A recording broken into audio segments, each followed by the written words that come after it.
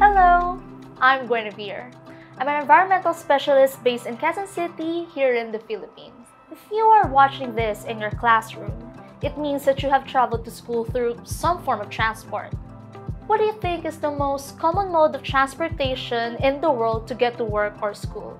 No surprise here, it's cars. Transport generates a quarter of the world's carbon emissions, which increases global warming, and is a major source of air pollution in cities, which causes health issues. Are you ready to prioritize people over cars? What if you add more cycle lanes or connect the existing one? These would allow people to get from one place to another free of charge.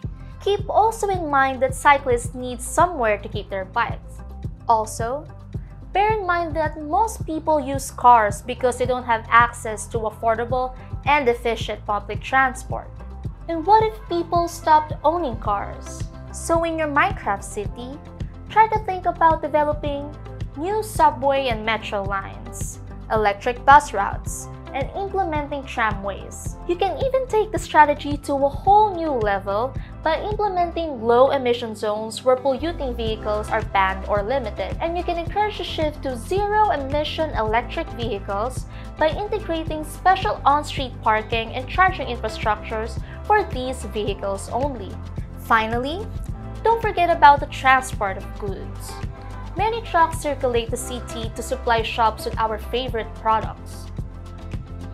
Are you ready to develop an efficient, sustainable mobility plan with Minecraft?